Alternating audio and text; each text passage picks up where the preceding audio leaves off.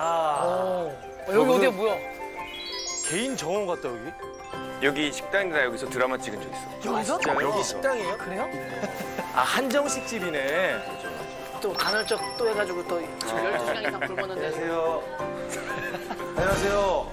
아, 어, 안녕하세요. 안녕하세요. 안녕하세요. 아이고 식사를 세팅해 주셨네. 아니 여기 뭐야? 이거? 아니 아침부터 왜 이래? 멋있다. 아침부터? 이거 아침부터 밥 주면 불안한데.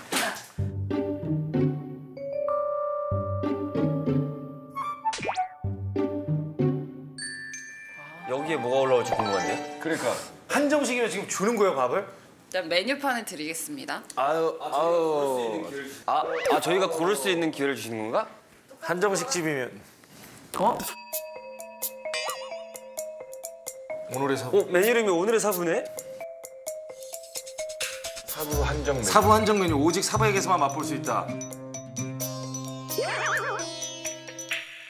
저는 그럼 사부사부로 주세요. 아 참신하다 너 진짜.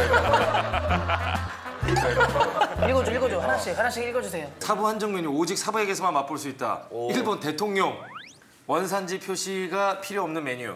뽀통령, 군통령, 개통령 수많은 대통령의 별명의 원조는 바로 이 사부. 오. 아, 이게 힌트구나.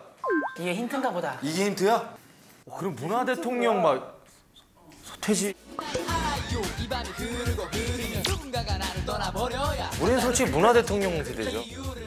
군통령 누구야, 군통령? 걸스데이. 걸스데이 걸스데이. 그리고 EXID도 군통령. 아, EXID. 위아래 했을 때. 아니면 오늘 진짜 오늘 문재인 대통령님 나오셔가지고.